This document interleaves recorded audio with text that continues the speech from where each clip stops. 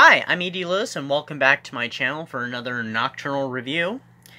Um, before we get started, of course, you know the gist. You know, hit that subscribe button, hit that like button. Please leave a comment.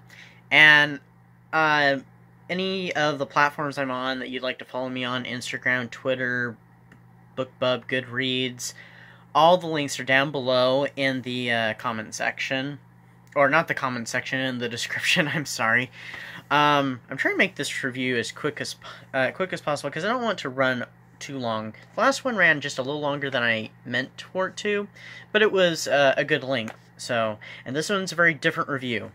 Halloween is just around the corner, as I'm sure you know. It's you know, I'm filming this right now, and it's Thursday night, late Thursday night, so it'll be up.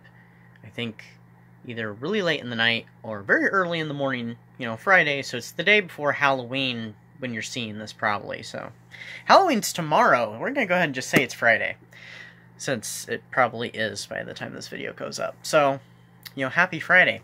Um and I'm actually going to do something a little different. This is not your typical review uh because well, not the typical review that I've done. I mean, so I'm I'm running over myself like a train wreck here. Just in a good mood right now too. So a little energetic. Alright. So, for this review, I'm not exactly uh, reviewing a gothic novel nor a typical horror novel. It is horror, but it's uh, based on real life events. I'm going to say alleged for probably the rest of this video because uh, it's claims of a real event. So if you believe it, that's great. If you don't believe it, that's also great too. You can still probably enjoy the book though, because you know, if you don't believe it to be true, you can just think of it as a work of fiction. So, and if you do believe it to be true, that's awesome. Um, to me, it doesn't really matter to the people involved. Of course, it would matter, but to me, um, I'm just reviewing the book. I have my own opinions about it, and I don't know if I'm really gonna say much on those. So I mean, maybe, maybe not. But anyway, let's just get started. So I'm going going to review the book The Haunted by um, Robert Curran with Jack and Janet Smurl and Ed and Lorraine Warren. And this is a re-release copy from around the time the movie The Conjuring came out. This book was originally published in 1988. Uh, it is based upon the alleged Smurl haunting that occurred from 1974 to 1989, the year after the book uh, was published. So the event was still going on while the book was being written and was released. Um, if you don't know who the Warrens are, the Warrens are purported to be, um, like probably the most celebrated or most famous, uh, or infamous, depending upon your point of view, uh, demonologists in the United States. They both passed away now.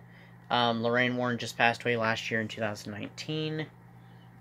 Her husband was like in 2006, 2005, something like that. Um, whether if you think that they're, uh, and I'm going to cuss a little bit in this one, I think if you think that their cases were pure and utter bullshit, that's fine. If you don't believe that, that's fine too. I'm not here to say one way or the other. So I'm just going to report on what the book is and if anybody's interested in reading it, please check it out because I do believe it is available in Kindle form, probably a Nook form. I haven't checked that. Um, obviously, paperback. I'm sure you can find an old vintage one out somewhere. So let's just kick into this uh, into this book. So Jack and Janet Smurl um, move into a duplex at 328 330 Chase Street in West Pittston, uh, Pennsylvania, with their children. Now, I think they only had like two children at the time, and then, well, after they moved in, they had twins. So they had like four girls total while they were living here. Uh, living there, not here. Uh, later on, they were joined by, um, in the other half of the duplex, uh, Jack's parents, John and Mary, who were uh, very elderly um, as far as I know, the girl, the daughters of Jack and Janet Smurl are still alive. As, as far as I know, Janet is. Jack died a while back, I guess. So I thought I'd give a little bit of that update right there. the Smurls were pillars of the community in uh, West Pittston. Uh, they were involved with, in you know, such as the Lions Club and you know, and their church and other you know, seemingly you know, typical American wholesome you know activities and such.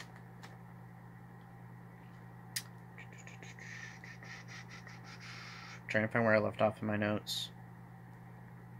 Usually there's so much for me to remember with the book, what I write down, what I don't write down, that I just can't memorize all my notes. I'm sorry that I do that. It's just there's a lot going on in my head.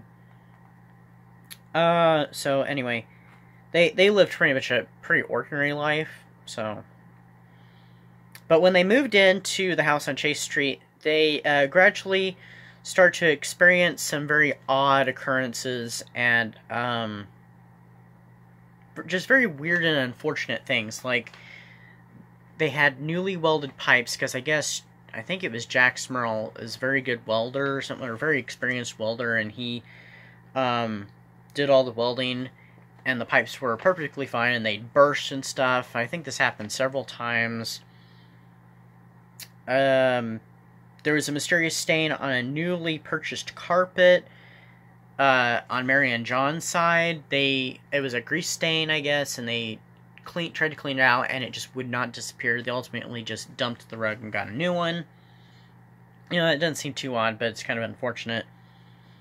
The uh, television set, on several occasions, it would, you know, there'd be a television set in this Smurl home that would either burst into flames, erupt in sparks, or just start glowing for no apparent reason, even when they weren't even plugged in. So, I mean, that's, you know, that's pretty freaky right there. If that happened, I would, you know, take off running for the hills, probably. I wouldn't just shrug that off, but, you know. Um, and also Jack and Janet's bathtub, because they redid their entire bathtub, because I think they did a lot of renovations on this uh, duplex, a lot of work on it. Their brand new tub was, like, covered in, like, claw scratches all over, and they could not explain why. It was very weird. And this it was just newly brought in, was perfectly fine, and then suddenly it just started getting scratches. I think it was over. The way they inferred in the book, they just mentioned it, you know, in this one little bit. They inferred that it, it happened. It happened. They noticed it, and it kept happening for a while. I don't know for how long though. So, um, you know, other stuff. You know, was going on, and they'd, they'd see shadowy figures, they'd hear voices. There was an argument that John and Mary Smurl heard. Maybe it was just Mary, I don't know. But they heard Jack and Janet arguing with such foul language that, you know, they thought, you know, being Catholic, that, you know, it was just very kind of a no-no to you know use such foul language and they were like they were even surprised that they'd even you know go that far. And so mary smurl was very upset with her son and her daughter-in-law and they weren't even arguing. Uh, jack and janet were not even arguing or at least they were. It was very small arguments. It wasn't violent you know with very foul language. And i guess even like you know the f word which i'm not going to drop here was dropped. Try i try not to say that word here on youtube so um, but the weirdest thing, besides the shadowy figure that would travel from one end of the duplex to the other, Janet would see it, and then her mother-in-law would see it, and they, you know, confide in each other. Was uh, things started getting really out of hand when the oldest daughter, who I think's name was Dawn, her confirmation was coming up, and they were preparing for her confirmation, and Janet and her and I'm thinking at least one of the other daughters or something like that was in the kitchen and boom, the uh, light fixture fell. And this was a huge light fixture, very heavy. It just fell suddenly and hit the hit the floor, I think, and they hit underneath, hit underneath the table. One of the daughters was partially injured, but nothing. But she didn't have a broken arm. I think her arm was just injured, but it wasn't broken, luckily. So that's when things started to really escalate and stuff. And at one point, Jack Smurl was raped by what they are calling a succubus, a you know a demon that sexually abuses uh, men. So whereas an incubus would be a spirit or demon that sexually uh, abuses a woman. So. So all this activity was going on in their home, but it was not the only place because and it wasn't only them who saw it because they would go off camping trying to get away from everything and it would follow them camping. They went camping several times throughout the uh, things discussed in the book. And even while they went camping, some of the neighbors heard horrifying screams coming from the house when nobody was there. And they would call to make sure, oh, maybe they came back early. No. They would hear about this after they came back.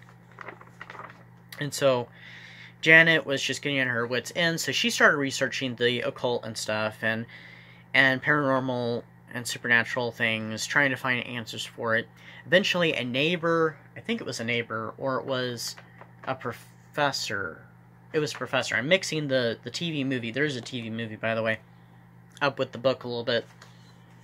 Um, it was a professor she talked to on the telephone, told her about the Warrens, and he gave um, gave her their number. So she so she calls them up, and they have the Warrens come, and they come with a team, and they observe and they document all the happenings, and they investigate it. It's all very much detailed in the book. I don't want to give too much away. Um, they eventually are, you know, they recommended they should, you know, contact the clergy and have them come and bless the house. They had a lot of problems with them, and uh, eventually the Warrens brought in uh, Father Robert McKenna, who uh, is no longer alive either, who later became a bishop, to perform a couple exorcisms. And, uh, yeah, so I don't want to give too much away. But the book is written not in the tip. It's not written in a typical narrative. It's written, um, like it starts out like a bit of you know like a piece of journalism where the report where the author is giving um, some background information, and then he goes into testimonies and interviews and statements from neighbors and coworkers and stuff, and even from the Warrens. It even briefly documents uh, a um, paranormal investigator in training. They refer to him as the apprentice demonologist, his very short journey into this field before uh, he leaves, and it tells why. But it was not written in the typical narrative like the book In a Dark Place, which I've read, um, which is the haunting in Connecticut case, or the Snedeker case, which I'll do a review on that sometime. That's written as a narrative, like, you know, like a novel. Whereas this is more of a more like kind of like documentation, like a news package, like a documentary. But it was written by Robert Curran, who was a journalist at one time. I don't know if he still is. I don't know any of his background, but this was his first book. So he heavily uh, covered it. And there's even photographs in the book, and you even get to see a photograph of him. Let's see if I can find that photograph.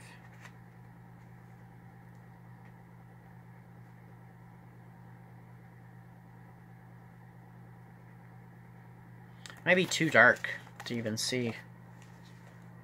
That's that's the author right there. That's Robert Curran.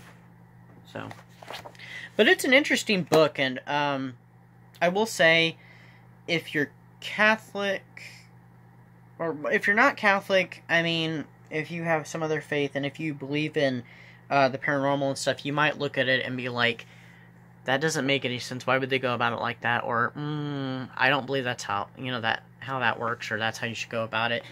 The Warrens went about their investigations very in a very Catholic way, and most it seems like most of their cases were always Catholic families, except for I'm thinking the uh, the Perron family, which the Conjuring was based off of them and their experiences. Um, they weren't really churchgoers, but they were Christians nonetheless but it seems like majority of their cases they always uh, end up going in and helping Catholic families. So, I mean, that's kind of interesting. It's like, well, what about the other people who aren't Catholic, though? So, I, I mean, I don't know. I was like, does this only happen to Catholic families? I, I mean, I, I watched the TV show Haunting, which they did not cover this case, at least in the seven seasons that I watched from. But I mean, I've seen the TV movie, and there is a TV movie. It came out in like 1990, and it was based mostly off the book, but it does mention something that happened. It does mention that after the family moved out of their new house, or moved out of the duplex, moved to a new house, they did finally get a sanctioned exorcism from the Catholic Church. And uh, I guess it cleared up everything. And they still claim today, the members of the family who are still alive, that this all hap- that this stuff did happen. And I think one of the daughters, I saw it in a video that was talking about it, is actually a paranormal investigator now. So that's interesting. So I don't know if you guys believe in this stuff or not. I do believe me personally, I do believe in the supernatural, and I there are so many unexplained things in the world. I have had even experiences of my own, but they have been nothing like this or any of the famous hauntings, which I'm glad because I mean, I'd probably run.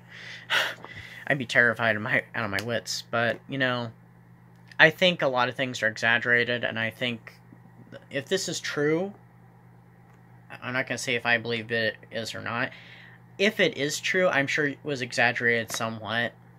So, I mean, hoax, maybe, maybe not, who knows, you know.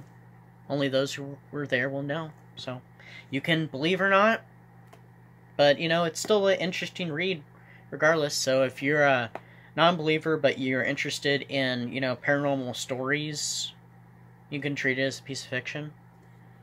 If you are a believer, you can treat it as a piece of fact. If you're on the fence, you know, you can draw your own conclusions. So that's pretty much it. So uh, I wanted to get at least one more video out before Halloween. I have a couple reviews planned in the future. Um, so I hope that everybody has a happy and safe Halloween. Um, and a blessed Samhain.